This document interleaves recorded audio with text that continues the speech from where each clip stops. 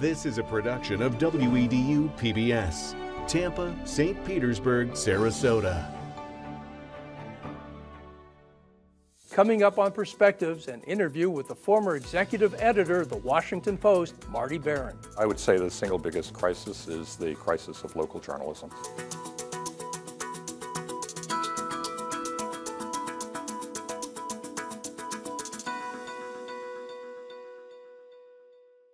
Welcome to Perspectives. I'm Rob Lorei. Marty Baron led the Washington Post newsroom for eight years, beginning just as billionaire and Amazon founder Jeff Bezos was buying the newspaper. Over a journalism career that took him from Miami to New York to Los Angeles, Boston, and eventually to D.C., the newsrooms he led won a total of 18 Pulitzer Prizes, 10 of them at the Washington Post. Liev Schreiber portrayed him in the film Spotlight that was the 2015 Oscar winning movie that depicted the Boston Globe's investigation into sexual abuse of children by Catholic priests. Marty Baron is out with a new book called Collision of Power Trump, Bezos, and the Washington Post, and he joins us now. Marty Baron, thanks for coming by. Thanks for having me. Good to see you. Good to see you. Since it's a presidential election year, the press has at times underestimated Donald Trump. And I want to ask you about the ways the press did not catch Donald Trump his popularity in 2015, in the summer of 2015, shortly after he announced his run. Why do you think reporters missed the mood of Republican voters back in 2015?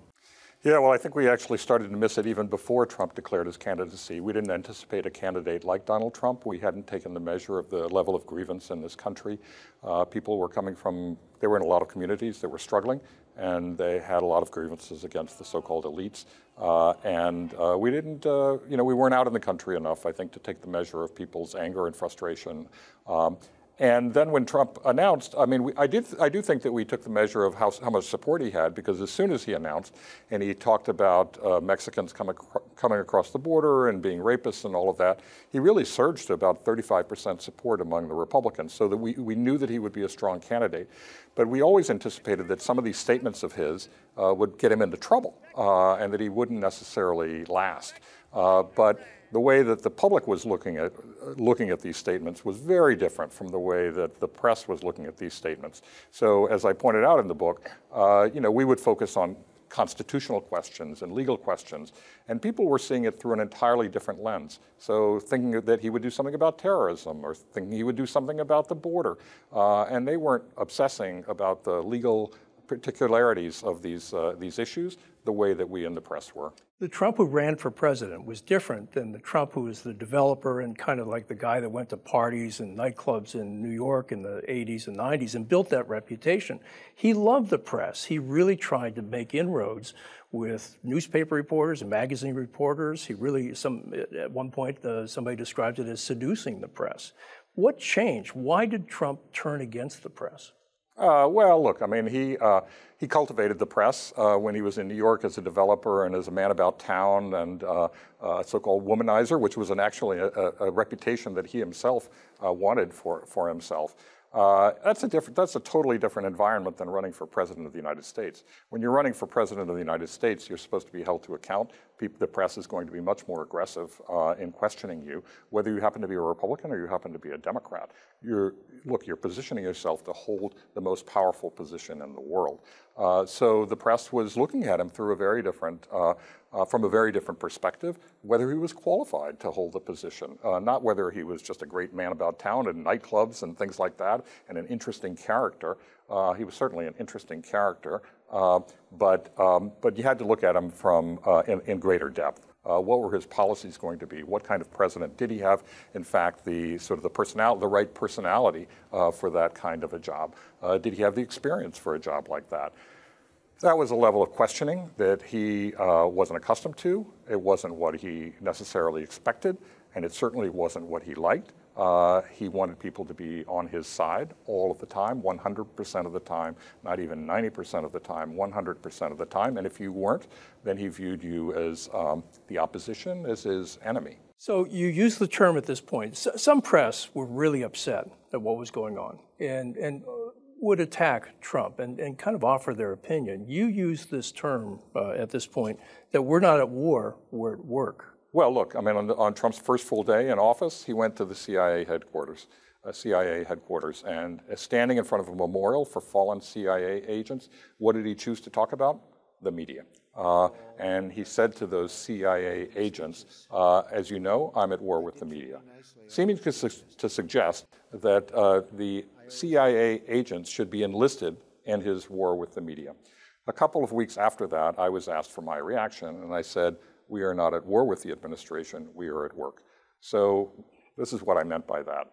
I think we need to think back to um, why we have a free and independent press in this country, and in doing that, we should look back to the First Amendment. Uh, and James Madison was the principal author of the First Amendment, and in writing that, he said that the press needed to was the purpose of the press was freely examining public characters and measures. Free, we can understand. Examining means that um, we're not just stenographers, we're journalists. That means we need to look at who's responsible for these policies, who are they going to affect, who influenced them, whether they were powerful individuals or powerful institutions, going deeper than stenography. Uh, and then public characters, those are the politicians, the government officials, uh, the individuals and institutions that influence them. And the measures, those are the policies. Uh, that was uh, the original assignment given to the press in this country. It is the reason that we have a free and independent press in this country. It was the reason behind the First Amendment. So that is our work. That is what we're supposed to do. Um, and uh, it's necessary, by the way, for a democracy. Uh, you, there is no democracy without a free press. Let's talk about how you got involved in journalism. You grew up in Tampa, and your parents had emigrated here from Israel. T- talk about why they emigrated from Israel. Well, yeah, they went to Paris actually initially. Uh, so they left Israel in 1952. Uh, my father had uh, and his family had left Germany uh, in 1937. So they went to Palestine, what was then British Mandate Palestine. Uh, and then uh, my father was in the Israeli Independence Army. and then they went to Paris, were there for two years. And then my father was, he met somebody who was from Florida. And so came. They came to Florida in the summer of 1954. I was born three months later here in Tampa. My older brother was born in Paris. It was my father's opportunity to come, and he took it. And so he came and he worked in the citrus industry and he worked for an um, agricultural cooperative marketing organization called Seald-Sweet and was became head of exports and had a lot to do with the export of Florida citrus to um, a lot of different countries, but particularly those in Europe. You went to school in Tampa, you went to Gorrie Elementary, eventually went to Berkeley High School. What was that like? Berkeley was a great educational institution. I learned a lot there. They were in on Davis Island at the time in that old converted hotel. So the facilities were less than great, that's for sure. Uh, but the individual teachers were, were really good. Those were interesting times. We just emerged from the civil rights movement. The assassinations had rocked the country of the Kennedys and Martin Luther King. Uh, we were ending or about to end the Vietnam War. I mean, there was a lot of news back then. There was, and there was busing here in Tampa also, and it was so it was a tense, tense moment uh, racially in this community, and um, and so yeah, there was a lot going on. I thought I was going to get drafted to go to Vietnam, and was getting very close. I graduated from high school in 1972, and so as every year passed, I thought, well, this war is not going to end by the time I'm draft age, uh, but just at that moment, they uh, discontinued the um, drafting or enlisting people, and uh, so I, I, did, I didn't get drafted. What was your first job in journalism?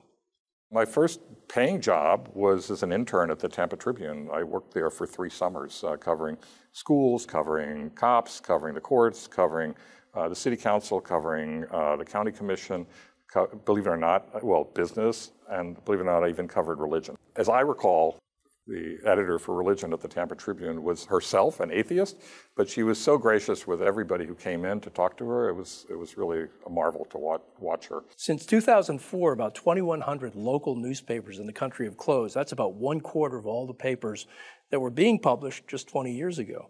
Another study is about how corruption increases without a local newspaper. What's your take? It's the single biggest crisis we have in American journalism. American journalism has many, many crises to deal with at the moment. Uh, but I would say the single biggest crisis is the crisis of local journalism, and that so many news outlets locally have disappeared. Uh, democracy really begins at the local level. Um, uh, watching your school board, watching your police department, watching your courts, watching the city council and the county commission, uh, all of that. And who does that? Well, local journalists do that. Without them, who's doing it? Nobody, really. Uh, maybe gadflies here and there, that sort of thing, people who have agendas that they're, they're pushing. Uh, but from an independent standpoint, nobody's doing it. And not just politics, by the way, the arts, things like the arts and, and all of that. So, um, and, and without local newspapers, they don't get covered at all. And uh, that's, a, that's a real crisis for community. It actually undercuts the notion of community, the idea that we all are, belong together and that we work together and that we're living together and we figure out how to live together and that we govern, our, and that we govern ourselves. So um, it is a huge problem. I'm not sure that anybody has settled on a sustainable model for local uh, news organizations uh, just yet. There are some signs of hope, I think, uh, and I'm encouraged by that. I think uh, I like to be an optimist. I don't think we can actually afford pessimism in our in our, our field. I don't know anybody who's ever succeeded by expecting they're going to fail. So I choose to be an optimist. Uh, I look and I see some news organizations around the country that seem to be doing okay. My old newspaper, the Boston Globe, my uh, uh, Minneapolis seems to be doing okay. San Francisco. Um, there are some nonprofits that are doing uh, pretty well, and there are some that are emerging. And so I think people are finally beginning to figure out their, um, that they can they can survive. Um, it's a little bit like um, uh, uh, maybe it's not a perfect analogy, but um, you know, many people said independent bookstores were all going to go out of business, but some independent bookstores figured out how to survive and they changed their business model and the way that they work. And that's a, that's a really good thing. And they become more part of their community, they serve their community, all of that. So um, we need to figure that out. And uh, that is a, that's I would say that's priority number one for our profession. What do you say to the public who might think that they can't trust their local newspaper or TV station or other or radio, other media source? What do you say to people? Well, first of all, trust in local uh, media providers is, is a lot higher than it is for the national publications. So when they do these surveys, they're really looking at national media, and there's a lot more distrust of national media than there is of local ones. Uh, but trust varies depending on your political point of view. So people who are on the right, they have an enormous amount of trust in Fox News, enormous amount of trust. But among Democrats, there's very low levels. There are very low levels of trust in Fox News. When you ask about, let's say, the New York Times or CNN, well, the Democrats have huge trust in those outlets, or very high levels of trust, but Republicans have very low levels of trust. So we have a very polarized environment in terms of media consumption. Um, but overall, it's declined a lot. I mean, so uh, pretty much ever since Watergate, it was actually at a high watermark after Watergate. Uh, you remember Nixon actually accused the press of, of it being engaged in a in political effort to destroy him uh, with that investigation. But it turned out that the work that the Washington Post and other news outlets had done uh, was validated. Uh, he ended up resigning. Uh, and then trust in the media actually rose significantly after that because its work was validated. Ever since then, there's been a real decline in, in overall trust. Um, and you know, that's something that we clearly have to work on. I think there are a variety of things that we need to do. None of them is a, is a guarantee, that's for sure. Uh, but um, one thing I think we have to do is we have to cover the entirety of our, our communities and our country. Uh, people of all ideologies, people who are struggling, people who are let them see themselves actually fully and fairly reflected in our in our coverage. I think that's very important for people to do. And if they see that, they're more likely to believe us on other matters, um, perhaps other matters that are more um, hot button issues. Um, the other thing that I think it's really important for us to do is to be more transparent about how we go about our work and what is the basis for uh, this reporting that we're presenting to you. Um, so we have the tools to do that now with the internet. So let's just show them what the basis is because there is an enormous amount of work that goes into uh, these stories, uh, regardless of the type of media outlet that's involved. And uh, I think people should see exactly how that work is done. And so I think, uh, you know, in, in, a way, it's like being a lawyer in court. Show the evidence. Mm-hmm. So we need to show our evidence. We need to show our work. Uh, at the beginning of the war between Israel and Gaza, a hospital was bombed. Some of the reporters in the West, some of the media outlets in the West said, attributed to Israel. Turns out it wasn't Israel. Uh, how does that, do you think, affect the press's credibility in this country? Well, it didn't help, uh, that's for sure. Uh, so um, I think we, uh, it's really hard, I mean, in Gaza to get, to get information. I mean, most American news organizations don't have correspondents in Gaza, they have correspondents in Israel. Uh, so, um, so you're relying on uh, freelance uh, individuals, freelance writers, freelance reporters in Gaza.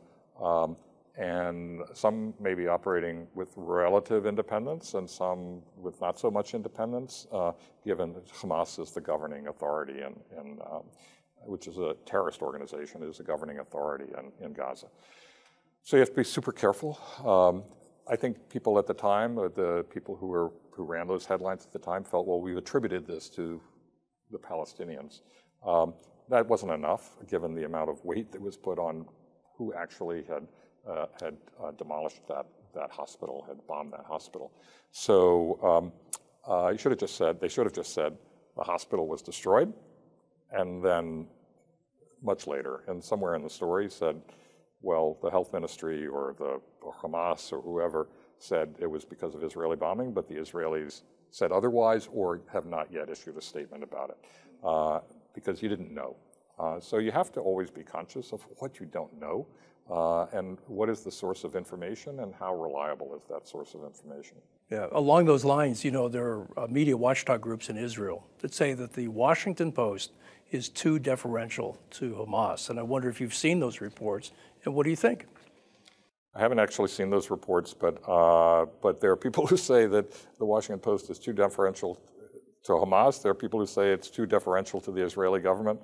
Uh, look, I've I've been responsible for a lot of coverage, and I've been accused of bias every every which way. I've been accused of being biased against. I, I can't tell you how many people I've been accused of being biased against. And uh, I was in Miami during the whole Elian Gonzalez thing, and on the same day, on the same story, I was accused of being biased toward uh, the Cuban Americans in Miami or being biased against the Anglo population, population in Miami. Uh, on the same story, people would say it was biased this way and, or that way. Um, and that's just, that's just we, we face that all the time. I think the Post uh, and other major media organizations are trying to cover a very complicated story uh, from all angles, and there are many different angles to that story, and there are many different perspectives. And I think it's important that uh, they do that and that they um, that they maintain their independence. Um, and it's such a complicated it's such a complicated story with a deep history, and um, uh, a lot of the critics are people who have have agendas, and some of the criticisms are legitimate, and you should look at what uh, what they say, of course, um, and adjust course if necessary. Uh, but a lot of them are merely intended to just put pressure on media organizations to uh, to lean this way or that way. So younger reporters at the Washington Post and elsewhere want to increasingly express their opinion on issues. Some have signed letters about what's going on in the Middle East right now. What do you think about reporters who, not during their job, but in their off time, begin to take stands on controversial issues? Yeah, I'm adamantly opposed to that. Uh, I mean, I, I believe that, uh, as we were talking before, that there are there's a role for advocates, uh, there's a role for ad- activists in a democracy. Um, that's not our role. Our role is to maintain our independence. Our role is to be observers, uh, to communicate what we're observing and, and discovering uh, to the public, and to do so in an objective and independent way. Do you feel like we're headed into a Fahrenheit 451 situation where more and more people are relying on TV? The printed word has become less important to people. And what do you think about TV news as a substitute for print news? So people tend to gravitate toward sources of so called information and news that reaffirm uh, their pre-existing point of view. Um, and um, that's a temptation and a tendency that would be very, is very hard for any media outlet to, uh, to combat. Um, so, um, but yes, I think people are relying a lot less on uh, media organizations that have a legacy print heritage. Uh, they're watching, a lot of people are watching television. And unfortunately, a lot of people are getting their news from social media uh, and places like TikTok. So where, when in a matter of seconds, somehow they're supposed to understand complicated uh, political and social uh, and international issues, and that's just impossible. I mean, so, uh, but that is a big influence in our society today. Um, somebody who watches a, you know, a TikTok video and it lasts a few, not even, not even a minute, by the way. It's like seconds, 15 seconds, uh, and they think they understand what's happening in the world. Uh, that's just really difficult. So during the Trump years when he was president, conservatives were gunning for the media. They established a fund to go after and investigate reporters. One of the groups that tried to go after the uh, Washington Post was Project Veritas, which is a conservative news outlet that edits heavily videos and tries to show liberals and others in a, in a damaging light. They targeted the Washington Post. What happened? Uh, well, the, there were many efforts uh, on their part to target us and other media outlets, uh, but perhaps the most notable was uh, when we had done an investigation of Roy Moore, who was the Republican candidate for the Senate in Alabama. Um, and uh, we discovered as part of our reporting that um, he had a particular affection for younger women, and according to the allegations, uh, he, um, he actually had sexual contact with one young woman who was underage. Um, and so we reported that. And so they, they, then tried to engage in this sting operation. They had some woman contact us claiming that she had had an, had, had an abortion at, his, at Roy Moore's behest. Uh, they, we ended up meeting with the woman, but we had very serious doubts right go, going in as to whether she was really legitimate. And so we engaged in a, um, a essentially a reverse sting operation. Uh, we did video that encounter, um, and uh, we found out who this woman really was. We discovered that she really worked for Project Veritas, and that this was really an effort to uh, deceive us, uh, maybe to get us to say embarrassing things, to say that this we were going to bring down Roy Moore or something like that, which we didn't uh, say that because that is never our, our intent, uh, but also to perhaps get us to publish uh, this false story that she was peddling, uh, which we did not do that either. Uh, but what we did do is discover who she was and who was behind it, and it was Project Veritas. Um, as part of that investigation and our reverse sting, we actually ended up winning a Pulitzer Prize. Uh, and I was very tempted, I have to say, uh, to send uh, the head of Project Veritas, a guy by the name of James O'Keefe, a thank you note uh, for helping us win a, a Pulitzer Prize. I did not do that. I restrained myself. Well, you were at the Boston Globe when you exposed the uh, church scandal, the Catholic Church scandal, and the abusive behavior of many, many, many Catholic priests. How did that affect the reporters and yourself? Were you under pressure? Did you feel that the Catholic Church was fighting back and pushing back at the Globe? Well, they were fighting back. I mean, we had to go to court to get internal church documents. Uh, we felt that that should be that should be made public, uh, and so we went to court uh, in order to achieve that. Uh, so um, the church actually even uh, threatened to um, seek penalties against us for merely for interviewing priests, uh, merely for, for, talking to people about the, um, these cases, uh, given that they were covered by this confidentiality order. Uh, so, uh, you know, there weren't physical threats or anything like that. I don't think the church would ever do anything like that. and there weren't physical threats from people within the church, but certainly there was pressure on a legal front. Did anybody in the Catholic Church thank you for exposing this? Yes, many people have, as a matter of fact. So um, uh, certainly um, the survivors uh, have thanked me um, many, many times, and it's incredibly gratifying. I've also had um, uh, uh, people who are deep in the faith, who are uh, devout Catholics, uh, who have thanked me for the work that we did. They thought it was incredibly important. but they were concerned that the very principles of the church had been betrayed, and they were right. Uh, they had been betrayed. They, the most faithful parishioners, had been betrayed.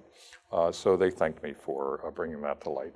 And I've also had priests thank me, uh, and that's surprised me because I've had priests come up and say, uh, look, this has um, affected us in a very profound way. our reputations have been damaged. People suspect us just by seeing our collar, but it needed to be done. Uh, so we thank you for that. How accurate was the movie Spotlight about that situation? It was uh, pretty accurate uh, for the overall arch of that investigation and how that unfolded, how that evolved.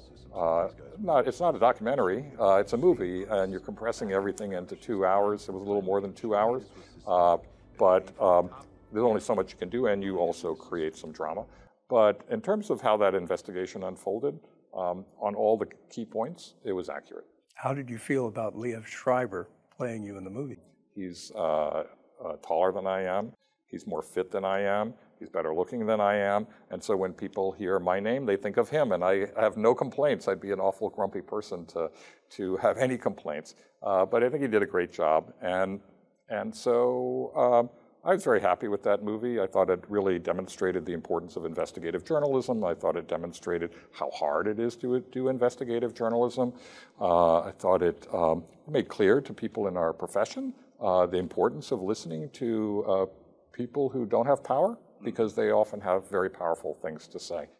Where do you think newspapers will be in 10 years? Will they be around? What would they look like? Uh, people have been predicting the disappearance of physical newspapers for a long period of time. Um, uh, a lot of people who read physical newspapers are very loyal to that. They just want a physical newspaper. That's a diminishing portion of the population. Uh, we live in a digital era. Most people are getting their information digitally and um, most frequently on digital devices, um, so your phone. Um, and that is going to be the trend. We will become ever more digital. Um, so uh, will physical, I can't tell you the date uh, when physical newspapers will disappear, uh, but they are going to disappear. Uh, I would not be surprised if they disappeared within 10 years. Um, it's possible that, let's say, local newspapers might have a Sunday edition or something like that that's more like a magazine, but nothing during the week. There are already newspapers that have discontinued publication on certain days of the week. So um, uh, I think we're moving in that direction. And um, Look, I think what's really important is not whether you get your news uh, on a piece of paper or whether you get your news on a website um, or on your phone or whatever, or on an app or whatever it might be. Uh, I think what's important is the quality of the information you're getting. Um, so um, that's what I think we in our profession should focus on rather than whether it's delivered on a piece of paper or not. Marty Baron, thank you very much for coming by. Thank you very much. Thank you for watching. This program is available to view at wedu.org/perspectives.